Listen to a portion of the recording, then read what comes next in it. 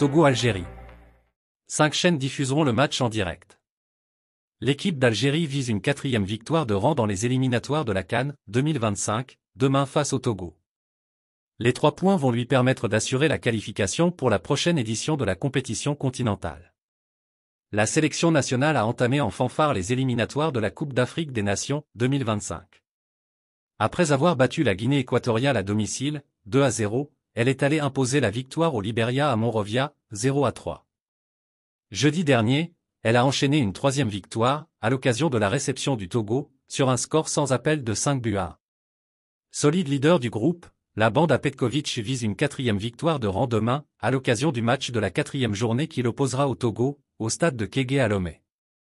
Les trois points vont lui permettre d'augmenter son capital point à 12, synonyme de la qualification pour la prochaine canne qui se tiendra au Maroc, à deux journées de la fin des éliminatoires.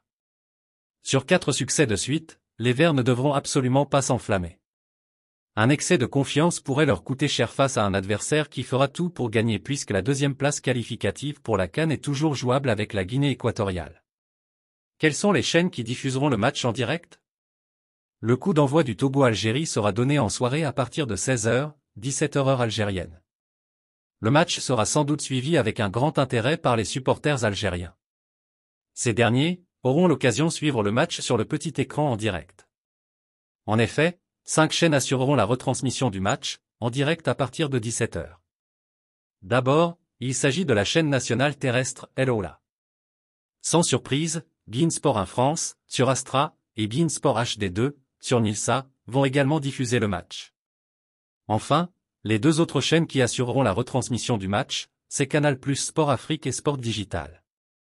Cette dernière est une chaîne allemande captée du satellite Astra. Merci de bien vouloir activer la cloche et de cliquer sur j'aime.